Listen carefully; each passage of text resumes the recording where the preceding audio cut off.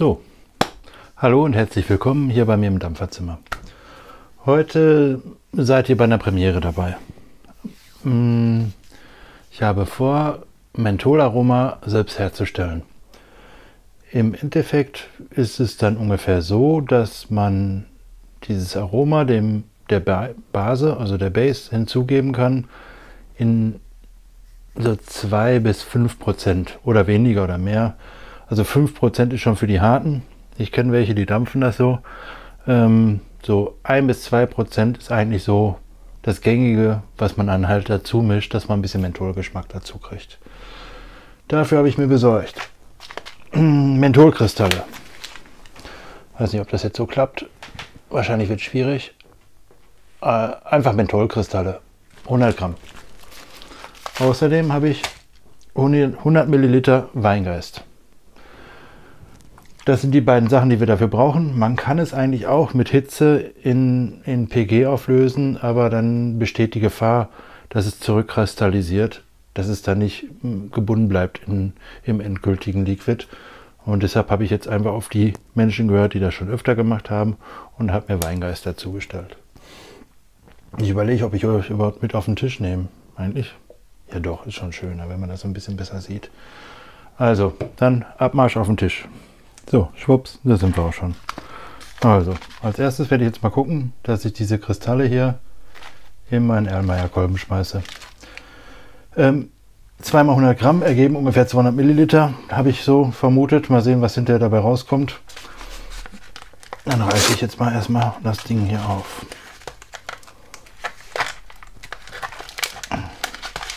Bin mal gespannt. Oh.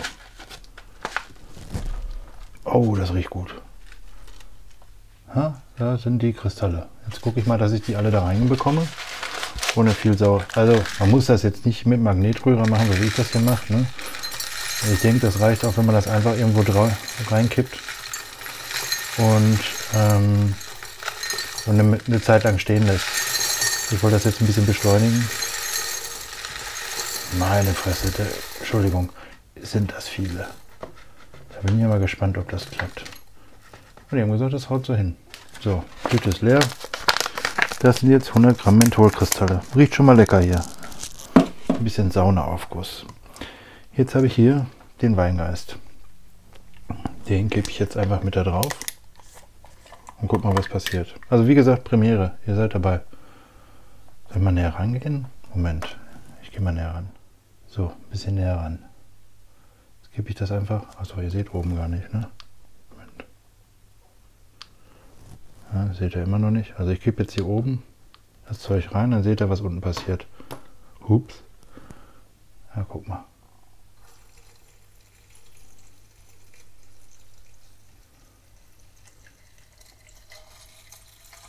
Ah. Sieht doch ganz gut aus. So eben alle Kristalle bedeckt. Und jetzt rühre ich das einfach mal. Oder lass das rühren. Ne? Schön selber machen lassen. Bin mal gespannt. Ich kann in der Zwischenzeit ein bisschen quatschen. Ähm, also Menthol an sich habe ich früher öfter gedampft. Seitdem ich Dark Menthol dampfe, so gut wie gar nicht mehr. Ähm, und was bei dieser Mischung, die ich jetzt gerade hier zusammenbrodel, halt das Tolle ist, man braucht maximal 5% hinterher, eher weniger. Also die meisten sagen, 2% ist denen schon zu heftig. Also das kann man wirklich ganz vorsichtig dosieren. Und eigentlich bin ich darauf gekommen, weil ich im Moment so ein bisschen, warte, na, ich soll ich mal umstellen? Ne, dann könnt ihr sehen, wie das da rührt. Äh, eigentlich bin ich darauf gekommen, weil ich im Moment so ein bisschen Lust auf mal was anderes habe. Ich habe schon das eine oder andere Liquid versucht jetzt selber zu machen. Das schmeckt mir aber nicht alles nicht so, wie ich mir das vorstelle. Jetzt habe ich noch eine Idee, was ich gern umsetzen möchte. Ein bisschen Tabak, ein bisschen Menthol, ein bisschen äh, blaue Früchte, weiß nicht so Heidelbeer oder so. Mal gucken. Ich habe sowas im Kopf, was ich gern hätte. Ich muss mal gucken, ob ich das realisiert bekomme. Na gut, also das rührt jetzt hier. Ich gebe mal ein bisschen Gas. Mal ein bisschen schneller rührt hier. Die Kristalle sind noch nicht aufgelöst. Also mit Hitze geht das ein bisschen besser, wobei der Weingeist das eigentlich ganz schön zersetzen soll. Ich habe aber keine Ahnung, wie lange das dauern soll. Wir gucken einfach mal. Hm. Ich mache jetzt einfach mal. Naja, das passt nicht dazu. Sonst hätte ich jetzt einfach mal. Ich habe den Icarus hier neu. Das ist vom, vom Babis. Das neue Projekt. 25 mm Verdampfer. Topcoiler. Schmeckt grandios. Mit dem Labris. Äh, der hat wieder den Kipptaster. Man kann einfach den, die ganze Kombi ein bisschen zusammendrücken und dann feuert es. Hm? Wollte ich gleich nochmal neu wickeln, um mal was Neues auszuprobieren. Aber das gehört jetzt hier nicht zu. Nur so am Rande mal erwähnt. So wie das aussieht, dauert das ein bisschen länger. Naja gut. Ich hole euch nochmal in die Totale und dann erzähle ich euch nochmal kurz was. So, da sind wir auch schon wieder. Also ich habe das jetzt noch hier ein paar Minuten rühren lassen. Man sieht, ich hoffe ihr seht das.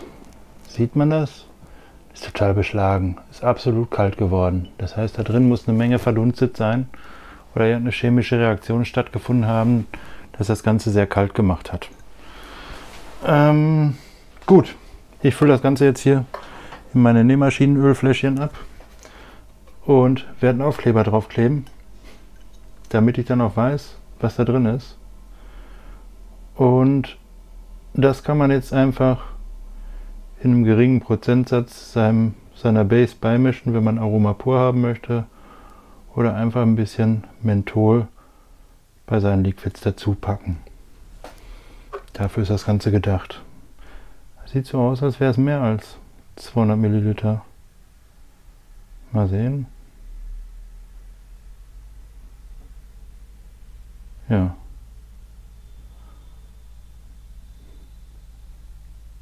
Ist ein bisschen mehr. Mal das einfach jetzt hier pickepacke voll. Dann habe ich es. Ist wirklich kühl geworden.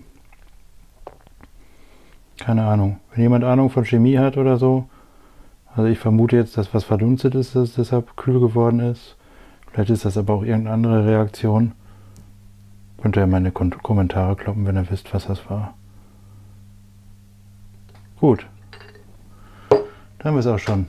Und somit habe ich 200 Milliliter Aroma. Echt eine Menge. War gar nicht so teuer. Bisschen Mentholkristall und diesen Weingeist zu kaufen. Ich vermute, das würde auch funktionieren, wenn man das jetzt nicht unbedingt auf dem Magnetrührer macht, sondern einfach in ein Gefäß packt, was groß genug ist und einfach stehen lässt, dann wird das, denke ich, auch funktionieren. Aber jetzt habe ich hier 200 Milliliter Aroma. Gut, ähm, diese Woche sehr kurz. Ich dachte, ich lasse euch einfach mal teilhaben daran, wie ich mein, mein Mentholaroma mische. Äh, gut, das war's. Ne?